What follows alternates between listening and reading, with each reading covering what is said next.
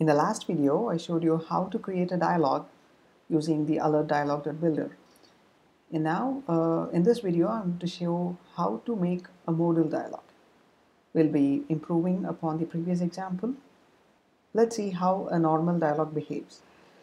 I'm going to click on the show dialog button and you can see we have the dialog right now. And if I try to click anywhere beyond the dialog's real estate, the dialog will automatically disappear. Can you see that?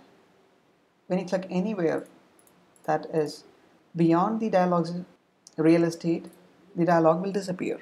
And also when you click on the show dialog and press the back button on your device, the dialog will disappear. And there are times where you don't want this to happen. You want the user to choose between the two or three given options before proceeding. In that case, a modal dialog would be ideal. And you can build a modal dialog very quickly. There is just one attribute you have to change. Go, let's go back to the code.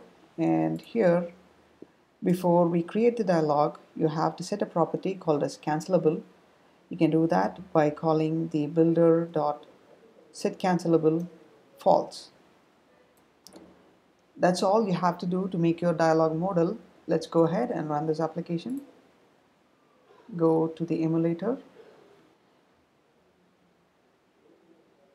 And now we have an activity. Let's go ahead and click on show dialog.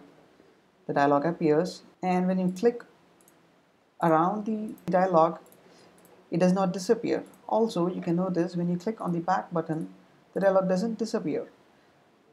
And in order to dismiss this dialog, you have to choose one of the following options, either yes or later.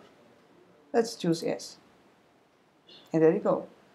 That's the only way to dismiss a modal dialog. Very simple and use it when needed. Thanks.